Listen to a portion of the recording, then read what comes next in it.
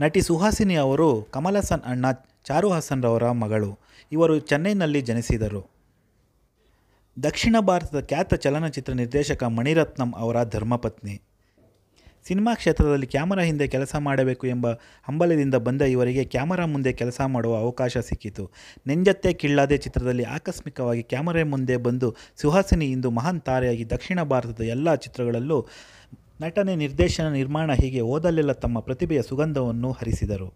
ಕನ್ನಡದಲ್ಲಿ ಉಷಾ, ಬೆಂಕಿಯಲ್ಲಿ ಅರಳಿದ ಹೂವು ಚಿತ್ರಗಳ ಮೂಲಕ ಕೆ. ಬಾಲಚಂದರ್ ಅವರ ಚಿತ್ರಗಳಲ್ಲಿ ಪರಿಚಿತರಾದ ಸುಹಾಸಿನಿ, ಮುಂದೆ ಸುಪ್ರಭಾತ, ಬಂಧನ, ಹೊಸ ನೀರು, ಮುತ್ತಿನಹಾರ, ಹಿಮಪಾತ, ಅಮೃತ ವರ್ಷಿಣಿ, ಯಾರಿಗೆ ಸಾಲುತ್ತೆ ಸಂಬಳ, ಮಾತಾಡ್ ಮಾತಾಡ್ ಮಲ್ಲಿಗೆ, ಹೆಂಡ್ತಿಗೆ ಹೇಳ್ತೀನಿ, ಸ್ಕೂಲ್ ಮಾಸ್ಟರ್, ಎರಡನೇ ಮದುವೆ ಮುಂತಾದ ಚಲನಚಿತ್ರಗಳಲ್ಲಿ ನಟಿಸಿ ಕನ್ನಡಿಗರಿಗೆ ಅತ್ಯಂತ ಹತ್ತಿರವಾದರು.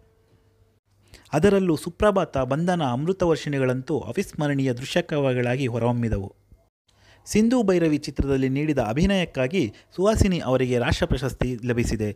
ದಕ್ಷಿಣ ಭಾರತದ ಪ್ರಸಿದ್ಧ ಕಲಾವಿದರಾದ ವಿಷ್ಣುವರ್ಧನ್ ಅನಂತ್ನಾಗ್ ರಜನಿಕಾಂತ್, ಮುಮ್ಮಟ್ಟಿ, ಮೋಹನ್ ಲಾಲ್, ಚಿರಂಜೀವಿ, ರಮೇಶ್ ಮುಂತಾದ ಎಲ್ಲ ಪ್ರಸಿದ್ಧ ನಾಯಕ ನಟರು, ಎಲ್ಲ ಪ್ರಸಿದ್ಧ ನಿರ್ದೇಶಕರೊಂದಿಗೆ ಕೆಲಸ ಮಾಡಿರುವ ಸುಹಾಸಿನಿ ತಾವೂ ಕೂಡ ಇಂದಿರಾ ಎಂಬ ಚಿತ್ರವನ್ನು ಪೆಣ್ ಎಂಬ ದೂರದರ್ಶನ ಧಾರಾವಾಹಿಯನ್ನು ನಿರ್ದೇಶಿಸಿದ್ದಾರೆ.